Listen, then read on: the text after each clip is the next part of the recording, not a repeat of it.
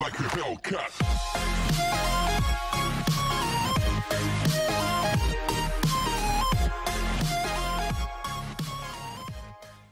はい、どうも皆さん、こんにちは。こたパパです。はい、えー今日からですね、5分間レビューっていうのをやってみようかなと思いました。えーその趣旨については、えまとめの方で、えーギュッとまとめてお話ししますので、早速商品見てレビューしていきたいと思います。では行ってみましょう。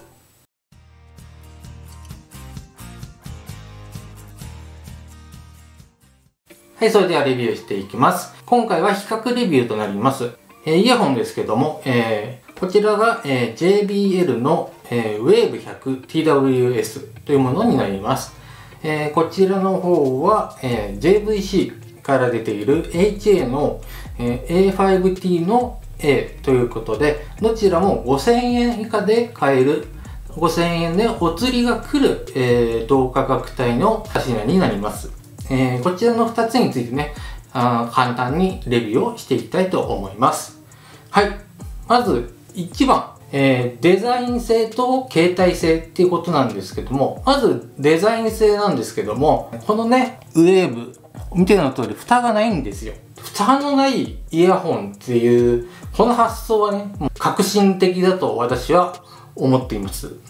それに対してね、こちらの JVC の方は、可愛くてね、こうおし、おしゃれ感覚で使用できるような感じになっております。デザイン性に関しては、私は個人的には、えーウェーブの方が好きです。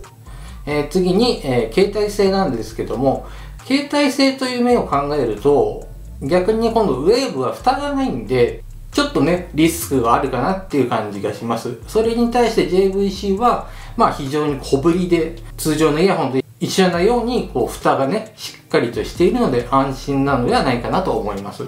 ということで、携帯性の面では、私は JVC を選びます。はい、2番目。2番目はバッテリーですね。えー連続再生可能時間なんですけども、えーウェーブの方は単体で5時間。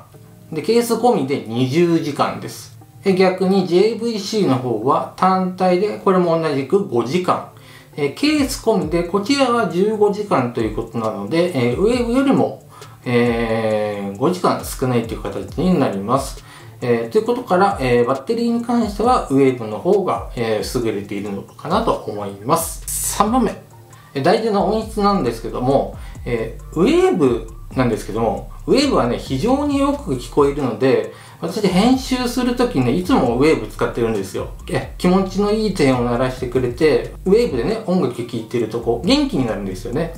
で、えー製品の、え解像度も、えー臨場感もしっかり楽しめるものとなっています。えー一方、JVC の方はですね、もう中音域がもうね、驚くほどに綺麗で透明性があって、えー歌物に本当にぴったりな、えーイヤホンだと思います。イヤホンで音楽聴いてるこついね、口ずさんでしまいそうなほど、完成度が非常に高いものとなっています。えーどちらもね、音質素晴らしいんですけども、えー私が、えー選ぶとしたら、ウェーブっていうことになります。ということで、レビューはここまでとなります。それではまとめていきましょう。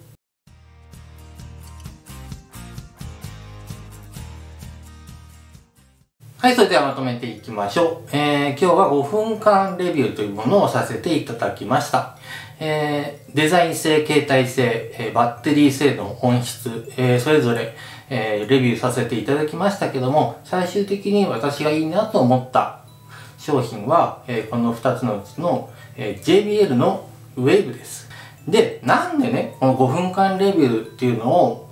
やっていこうかなって思ったのは、イヤホンのことについて、あの、お届けしたい情報っていうのはたくさんあるんですよ。でもそれはね、時間があれば、誰でもね、できることなんですけども、要点を絞って、なおかつ、皆様に有益な情報をお届けするっていう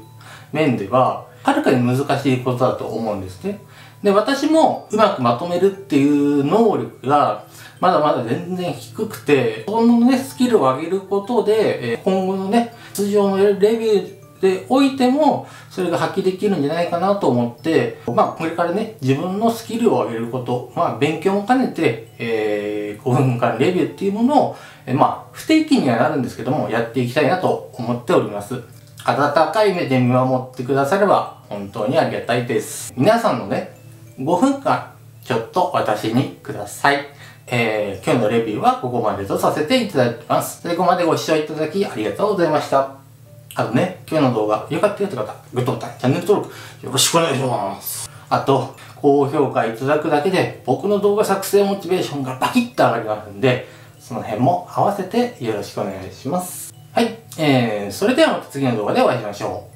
う。バイバーイ